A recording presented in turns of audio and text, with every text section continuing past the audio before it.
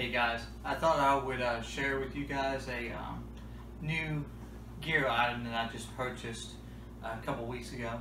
I finally got it delivered to me today. It's from Enlightened Equipment. And it's their new quilt. The Conundrum quilt itself. So, as you can see, this is my new quilt that I just purchased. What comes with this uh, quilt is a little nylon stuff sack that you can uh, stuff your quilt in when you get it.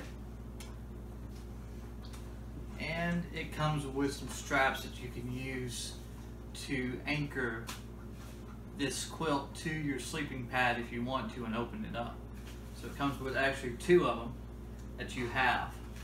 And when you unzip it,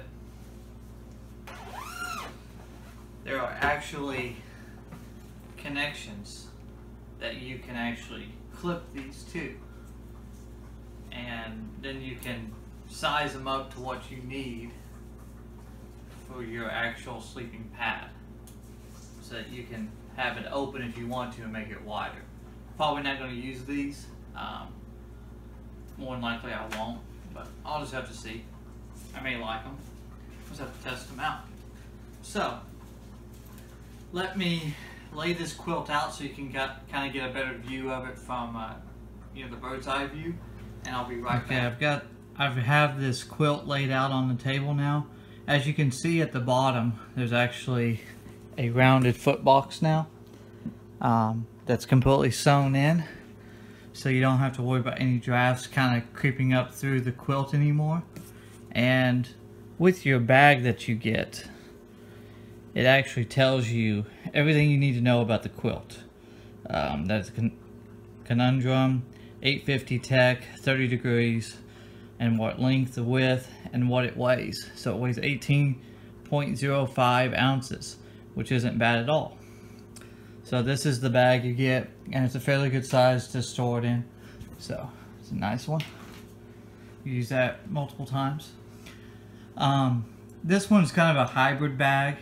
It's not a sleeping bag, but it's not technically a, a, quilt per se, since you can't zip it all the way down and open it all the way up. Um, it will remind you more of a uh, Z-Packs uh, quilt that they sell. Um, with this new quilt, it actually has double draft tubes um, within the zipper so that there is no cold spot with the zipper at all. Um, and I'll show you that in a minute with this. Um, like I said before, it comes with a sil nylon stuff sack. It comes with the storage bag that I just showed you and two elastic straps that you can use for your um, sleeping pad in it. It's a fairly nice bag. Around so you can see the inside as you can see, the top actually has two buttons that you can actually click like the uh, previous models have. So you can technically leave this open for venting and just keep this um, snap so it can keep it snug around your neck and use it. Um, Equipment says you can use it like this and keep the zipper on top of you you can flip it over and have it this way. You can make the zipper to the right of you or to the left if you want the zipper to be on the left side. Um, it's totally up to you. It's kind of a universal zipper of how you want this to be. So I think that's a good idea. Um, as you can see, here's one of the uh, draft tubes here and then it's one right here that they have sewn in. It's kind of hard to see on the black but there's actually two draft tubes and they actually marry pretty well together and um, I can't feel a seam at all when I'm sleeping in it so that's nice. Um, I haven't tried this out in the field yet. Um, I probably will in the next few weeks when it warms up enough Um, right now, snow's melting and it's just yucky outside, so I'm not gonna mess with it. Um, with these quilts, you will notice it doesn't really show up on the video, but you will see the darker down um, through the through the material itself. Um, this denier is so thin, it's almost transparent, and I, can actually see the individual dark spots of all the down. It doesn't look too bad. Um, some people may not like it um, because you will see all the imperfections in your down. Um, but it's not that bad. So it's just got one cinch cord um, right here and it's off kind of to the side of the bag. So it's easy to get to and you just got to pull it tight and it cinches it up and it has a little button that you just pull in the center and just tighten it up and you can just let that loose and let that open up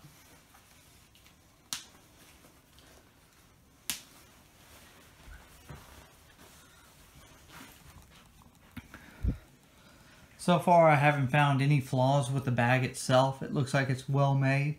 Um, the down seems to be evenly distributed throughout each vertical baffle. Um, so it, it it's almost kind of like the same design, almost as Z-Packs in a way. Um, Enlightened Equipment's had this vertical baffle uh, design for a very long time, and now Z-Packs has switched over to it.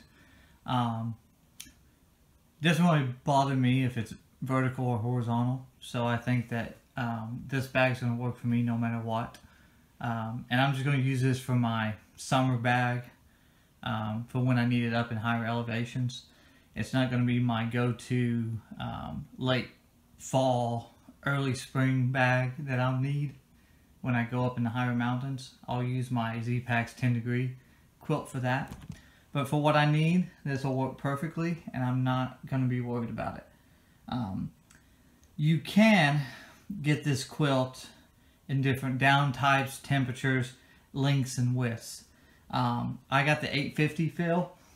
Um, I could have gone with the 950, but it's $60 more to save an ounce. So I could have got this bag to weigh 17 ounces but mine weighs 18 and I didn't see that it was worth paying an extra $60 for an ounce. I just, to me, it just wasn't worth it. Some people, they may want it. For me, it wasn't worth it. You can get this bag from temperatures of 50 degrees all the way down to negative 10 if you want Fahrenheit.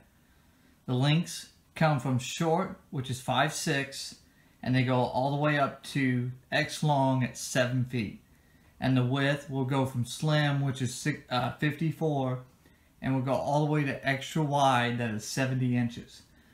The bags come in multiple colors that you can pick from. Um, so you can design this bag basically the way you want on color-wise, on the inside and the outside. Um, other than that, this is just an initial review of the construction and how it's made. Other than that, uh, gear testing wise, I will have to actually take this out in the field and test it for a few months to see how it performs uh, temperature rating wise. Because I want to make sure that this this bag is actually going to hold up to 30 degrees. Um, so I've never bought an Enlightened equipment bag, so I don't know how their temperature ratings are, if they're spot on, or if they're kind of, hmm, you know, plus or minus a couple degrees. So I'll give a, a gear review of the bag itself in a few months after I, you know, put it through its its tests and see if it's actually what it should be. If you guys have any comments or questions, uh, feel free to ask.